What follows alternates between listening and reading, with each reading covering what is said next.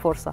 آه، عندنا بقى تقرير من دار الأوبرا المصرية آه، نظمت آه، ندوة مهمة جدا تحت عنوان نساء خدمنا الوطن. وكان فيها مجموعة من سيدات مصر الناجحات المشرفات. وتعالوا نشوف تفاصيل الندوة في التقرير اللي هنشوفه دلوقتي ونرجع نبتدي معاكم فقرات حلقتنا.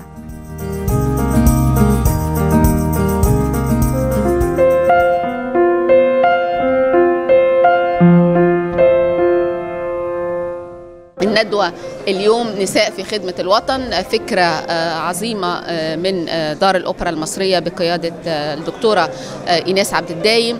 كون إن إحنا هنسلط الضوء على سيدات ونماذج بيخدمنا الوطن ويستم...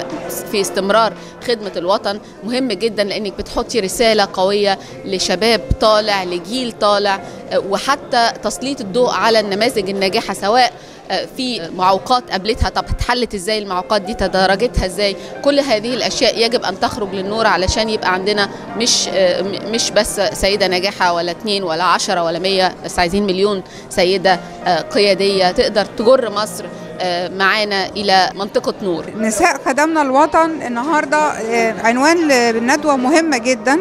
بت بتعمل يعني زي ضوء أحمر في أذهان ال- المشاهدين والح- والحضور على أهمية دور المرأة وأهمية آه، تواجدها جنبا إلى جنب مع الرجل وتبني قضايا اجتماعية لأن اللي هي المرأة عندها آه، حماس للقضية اللي بتتبناها أو اللي بتؤمن بيها وبتكون قادرة على إنها تصنع فارقا في هذا الدور إذا عاملنا المرأة كملكة سترد لنا هذه المعاملة بأجيال رائعة آه، أمراء وأميرات بدل ما نشتكي من أولاد الشوارع والعشوائيات وهذا الضياع.